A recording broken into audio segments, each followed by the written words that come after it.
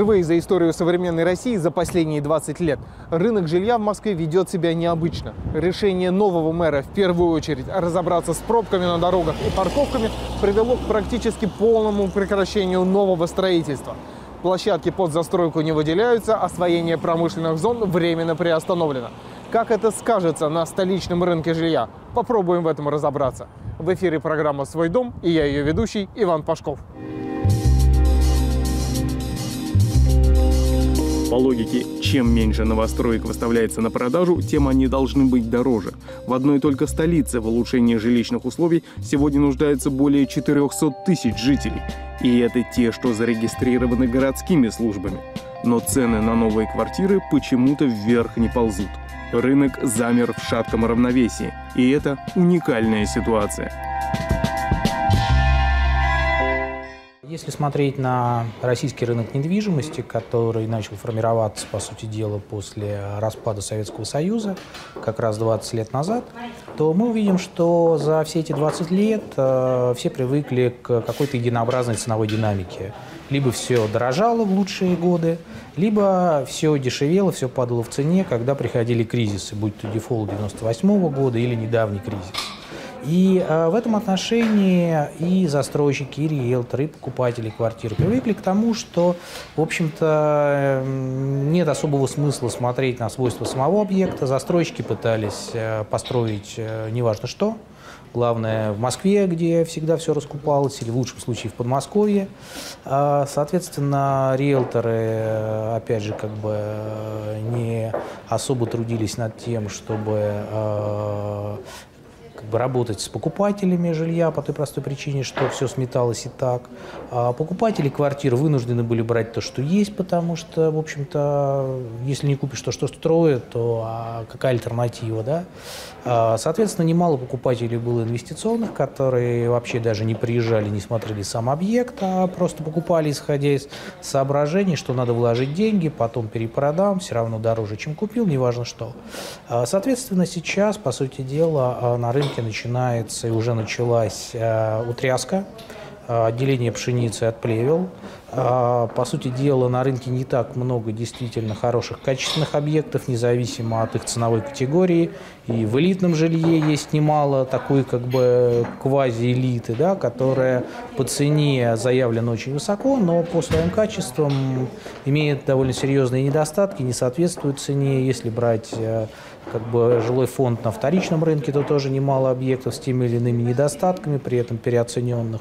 И, по сути дела, уже второй год мы наблюдаем на рынке действительно непривычную ценовую динамику, когда нельзя сказать, растут цены или падают, потому что одновременно на рынке могут соседствовать разные тренды на разные типы жилья и даже на разные квартиры. Что-то прибавляет в цене, что-то требует, наоборот, скидки вниз для продажи, что-то топчется по цене на месте. Сколько продлится такая ситуация? Главный вопрос, который волнует строителей, продавцов квартир, финансистов и, собственно, потенциальных покупателей. Ответа на него пока нет. Однако общее напряжение на рынке растет. Еще в марте представитель ипотечного банка Игорь Ларин рассказал нам, что по всем расчетам люди должны вот-вот ринуться покупать жилье. Сейчас очень актуально говорить о таком вопросе, как отложенный спрос это, э, ну, понимаете, да, что я имею в виду? Активность и желание людей приобрести квартиру с помощью ипотеки, оно заметно. Вот сейчас, э, март 2011 года, э, мы видим, как вот прошли, скажем так, такие спокойные, традиционно сонные для России месяцы, это январь-февраль, и мы уже видим существенную активность в 2011 году по сравнению с 2010 годом. Отложенный спрос постепенно идет, но говорить о том, что он уже вылился на рынок, еще нельзя. А поэтому э, о ситуации на рынке недвижимости можно сказать, что там идет некая стагнация. То есть цены постепенно растут, но какого-то колебания как вниз, так и вверх пока еще не происходит. Отложенный спрос – это нереализованные планы людей, желающих улучшить свои жилищные условия. Из-за кризиса они не смогли купить квартиру, но кризис кончился. И по всем расчетам люди должны взять свои деньги и начать покупать жилье в прежних, докризисных объемах, и тем самым подтолкнуть цены вверх. Однако, когда этот процесс начнется, два месяца назад наш эксперт предсказать не рискнул. Взлета цен на жилье ждут и строители, ведь новостроек в городе действительно очень мало. За последние два года их количество сократилось на треть, а теперь еще и новые столичные власти решили попридержать темпы строительства жилья, чтобы не увеличивать количество машин в городе. Март, он показал, э, повторюсь, рекордное количество сделок, причем по всем сегментам. И э, в апрель мы уже вошли, практически, вот я говорю, повышение э, цены произошло где-то в диапазоне от 20 до 30 процентов. При этом, как бы пока это имеет статус заявленных желаний, имеется в виду, то есть цена поднялась, но сделки еще либо идут в недостаточном объеме, то есть сказать, что это рынок освоил, нельзя. Но тот интерес, который по-прежнему остался уже на новом ценообразовании, говорит о том, что э, за май-июнь пройдет достаточное количество сделок, чтобы уже окончательно утвердиться, что да, этот рубеж взят. Для застройщиков, естественно, ждать повышения цен. В борьбе за покупателя они с каждым годом возводят все более качественные и комфортные дома. Логично, что новое и улучшенное жилье должно котироваться дороже, чем старое и менее качественное. Но вот вопрос, есть ли у людей деньги на покупку? Мы вот так легкую с вами обсуждаем, говорим, что цена вырастет на 20-30%. А, а вы посчитайте это в деньгах. Есть разница, там, скажем, э, сегодня это стоило там, 5 тысяч долларов за квадратный метр, вернее, еще в марте, а уже сегодня вам это предлагают по 6,5. Полторы тысячи умножьте там на 100 метров, это 150 тысяч долларов. Э, эти деньги нужно заработать. Все, что я э, могу посоветовать в этом случае, это мотивироваться не только теми возможностями, которые есть сейчас, то есть я имею в виду финансовыми, все-таки смотреть что можно сделать с точки зрения ипотеки. То есть на сегодняшний день ипотека перестала быть таким, знаете, хищником. То есть ты взял квартиру, взял ипотеку, и завтра без квартиры, это часто показывают по телевидению, там каком-нибудь в хронике происшествий, еще что-то, вот без, без денег и без квартиры. Вот на сегодняшний день, э, ну, во-первых, как бы прошедший период показал, что государство не оставило э, критической ситуации пайщиков, заемщиков, их поддержала. И на сегодняшний день банки действительно борются за клиентов. Но даже уповая на ипотеку, застройщики не исключают, что их ожидания могут затянуться. Слишком много факторов способных повлиять на желание людей покупать квартиры. Что будет дальше, сказать крайне тяжело. Э, как показал опыт, мы сейчас становимся сильно зависимы от таких вещей, там, как, скажем, как климат условно говоря, имеется в виду лето прошлого года, когда в Москве была такая ситуация, что вот меня всегда удивляли аналитики, которые писали, что что-то происходит. Э, летом рынка просто не было. То есть не было, были продавцы, был товар, но не было покупателей.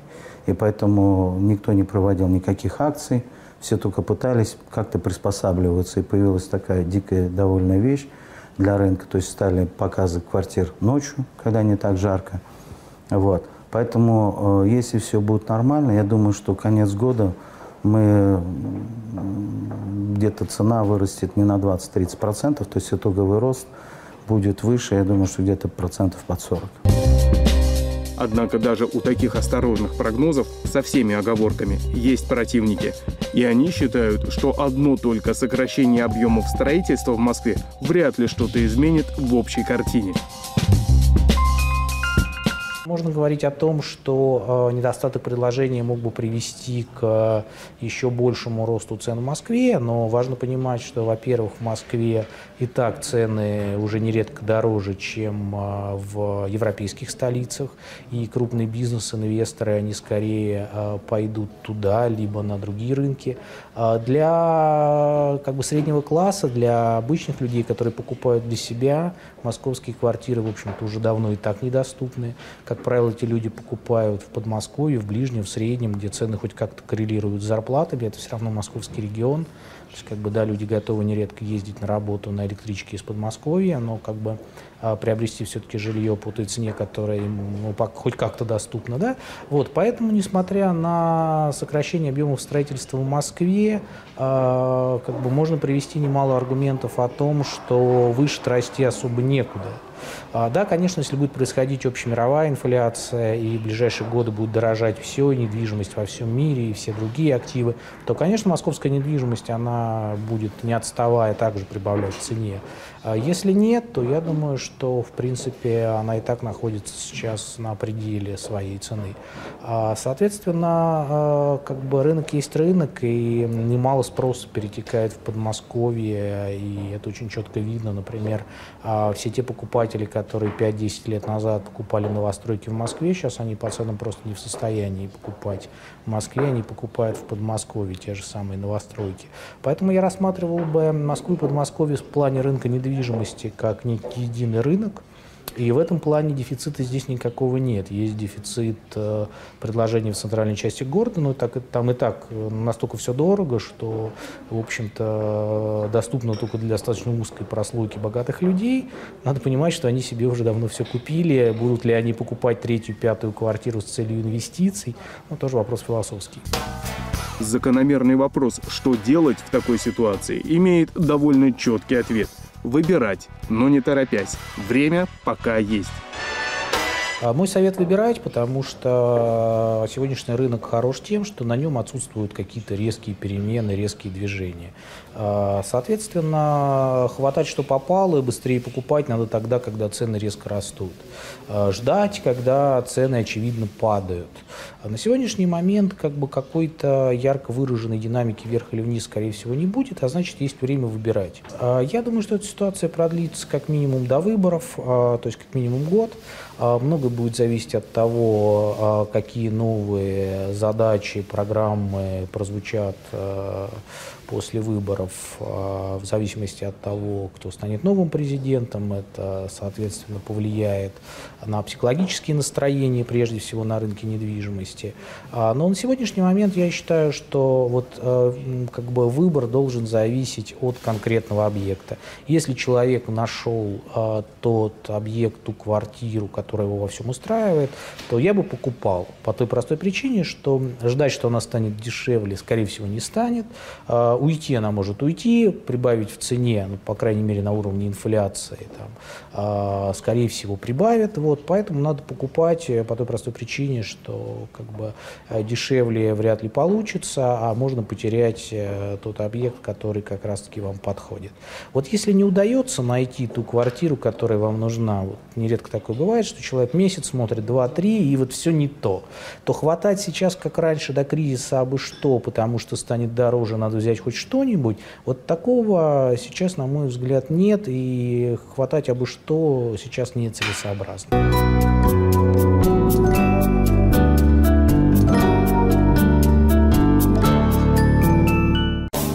Покупка дома или квартиры – это не просто начало нового этапа в жизни. Это реальный шанс сделать ее такой, какой хочется именно вам.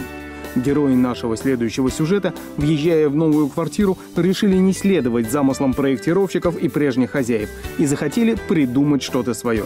Они даже отказались от услуг дизайнера, когда поняли, что не находят с ним общего языка.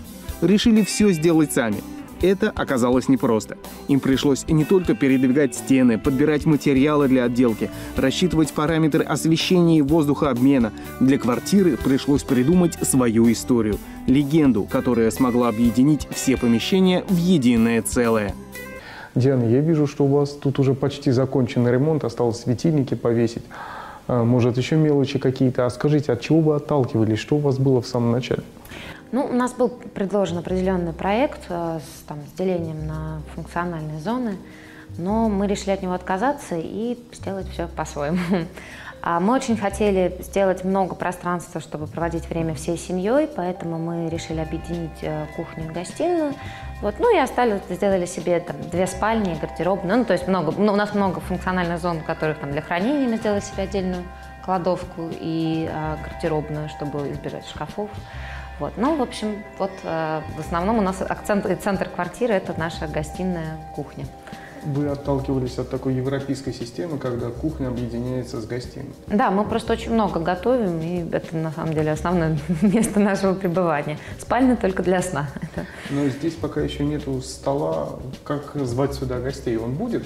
Го- Гости сюда очень охотно ходят. Нет, у нас будет здесь, а, мы планируем здесь сделать остров а, такой, который будет и место для хранения кухонных вещей различных, и плюс это будет обеденный стол достаточно большой. Диана, а как вы получили разделение на функциональные зоны без стен э, в абсолютно пустом пространстве? Чем вы это подчеркнули? Ну, пока, во всяком случае, пока у нас нет там определенных еще и светильников, а, у нас это сделано за счет мебели, но кухню у нас мы выбирали специально, делали ее такой, чтобы она не совсем была похожа на кухню, это вот за счет фотофартука, который у нас такая картина получилась а, здесь посреди комнаты. И плюс мы отказались от верхних ящиков, ну, чтобы это было так просторно, не перетягивало на себя очень много внимания. Но кроме этого, здесь идет отделение полом.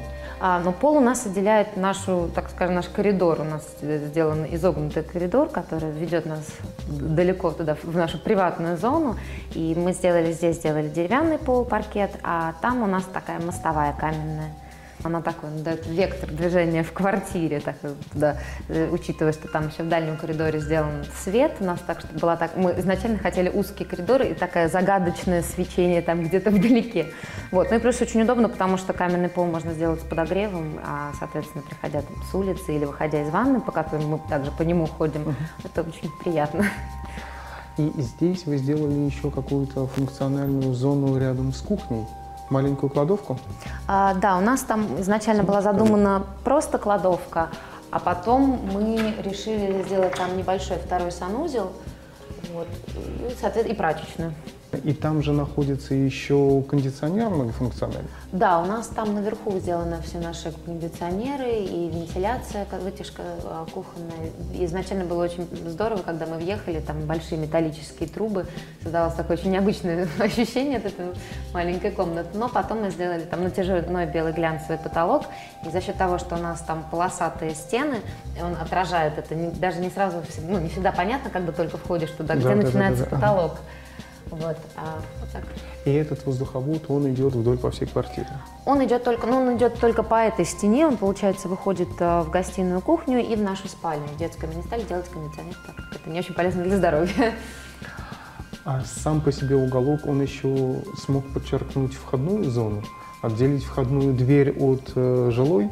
Ну да, мы здесь построили небольшую нишу, которая, с одной стороны, нам а, дала место для холодильника и естественного хранения, здесь будет встраиваемая техника, а с другой стороны, сделала нам такой небольшой тамбур у входа, который несколько отделяет а, вот, входную зону от всей квартиры. При этом в нем, ну, как бы нам кажется, что нам функционально при наличии большой гардеробной достаточно хватает, потому что там можно и будет и положить ключи, поставить Ну, обувь, да-да-да-да. повесить немножко, немножко одежды, все остальное носится в гардеробную. Еще очень приятное ощущение от него возникает, что нету выхода сразу из гостиной на улицу. Да, ну то есть это такое психологическое, маленькое психологическое разделение, чтобы тебе не казалось, что ты сразу пришел к дивану. Полуобманка, пол сюрприз.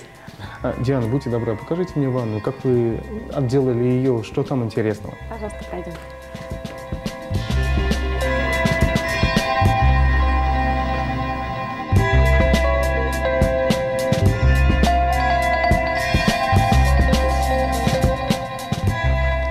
А что здесь в ванной вы сделали? Какая она была в самом начале? Ну, она, во-первых, была без окна. А Мы прорубили себе окно для того, чтобы у нас был естественный свет в ванне. Это тоже европейское веяние, ванна с окном. Но только это можно позволить себе в загородной резиденции. Мы это сделали в квартире. В нее свет попадает из окна, которое находится там в следующей Спальня. комнате в спальне. Да. А, вот, поэтому это вот у нас как получилась такая тоже центральная композиция нашей ванны.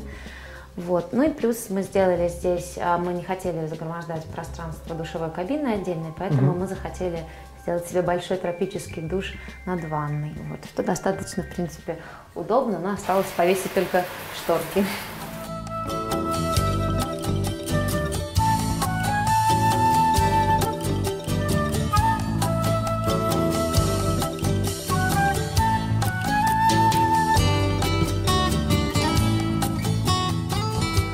Строительные материалы вы тоже подбирали сами?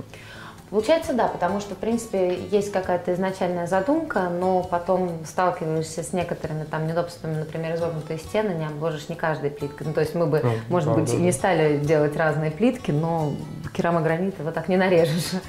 Вот, поэтому начинаешь выбирать, отказываешься от одних, отказываешься от других. В результате, ну, там функциональность, цена, много разных факторов влияет на выбор конечного материала. Нельзя сказать, что вы искали какие-то особенно дорогие? э, Нет, наоборот, материалы, наоборот, мы хотели сделать, э, нам интересна была идея сделать бюджетно, но интересно. И из чего это сделано? Это мраморный камень. Вот, здесь и сделана дорожка от входа. Это тоже мраморная крошка.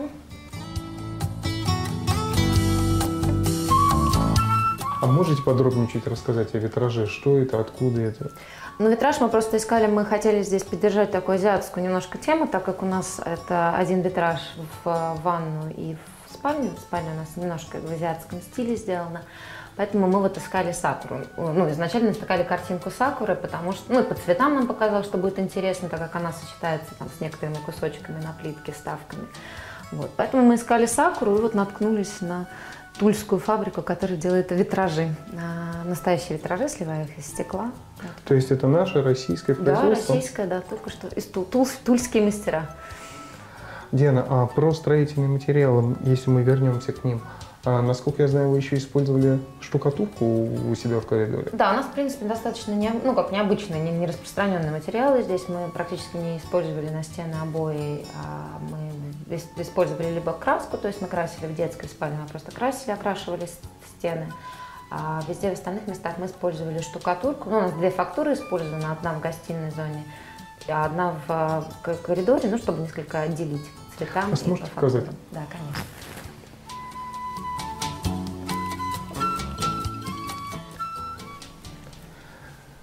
Диана, а здесь еще очень интересная стена. Почему? Из чего она сделана? Ну, здесь у нас сделана стеклянная стена. На самом деле а, у нас много вообще стекла в доме. Это мы очень любим естественный свет. И здесь на самом, у нас а, сделан достаточно узкий коридор. И вот за счет этой стеклянной стены он на самом деле не, не давит, он не кажется таким узким. А колонны это дерево? А, нет, это не дерево. Это мы нашли интересные а, где-то декоративные балки, которые обычно используются на потолок. А, мы их используем сюда. Это как полипропилен называется. И вот это вот покрытие, то, о котором мы говорили, это? Да, это декоративная штукатурка. Она у нас использована здесь полностью на этой изогнутой стене и в маленьком коридоре. Но здесь еще очень красиво сверху эта стена отделана, завершена. На самом деле, да, мы сначала, вот так, здесь необходим был плинтус для перехода от а, штукатурки к потолку. Мы, в принципе, приобрели сюда плинтус, приложив его, мы поняли, что это совершенно как-то портит всю вот задумку этой стены, и поэтому мы решили приделать канат. Решение с канатом, оно на самом деле просто нам позволило вот, э, сделать переход незаметным и достаточно интересным, отдельным акцентом.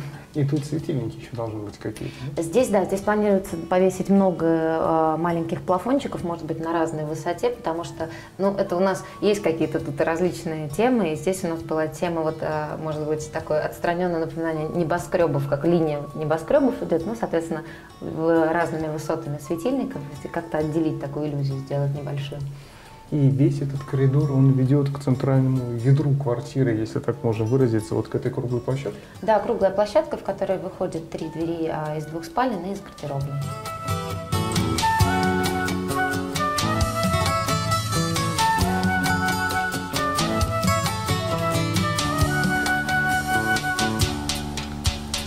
Это спальня, и это вот то самое окно, которое ведет из спальни в ванну. Да, получается, оно у нас центральная картина как в ванне, так и в нашей спальне. Но сквозь него, конечно, ничего не видно, то есть там можно быть спокойно. Да, абсолютно. Только свет пропускает, поэтому днем можно в ванне свет не включать.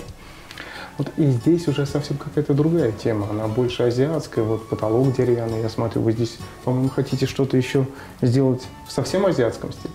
Ну, он будет не совсем азиатский, но с неким настроением, скажем так, азиатским. Да, мы хотим на потолок еще повесить палантин. Мы здесь, в принципе, не, не использовали много цветов. а В спальне не делали, там, не, не делали цветные стены именно за счет того, что у нас вот э, здесь такое яркое пятно, которое, в принципе, остальное уже обыгрывать будем вот там, текстилем и шторы какие-то подбирать. И общая тема квартиры тогда получается какая? А, Небоскребы в коридоре, Азия здесь. Амстердам на кухне. Да, Амстердам на кухне. у нас так, у нас тема городов, мы живем в большом городе, у нас виден весь город из окна, поэтому у нас вот ra- разные города получились в нашей каждой комнате.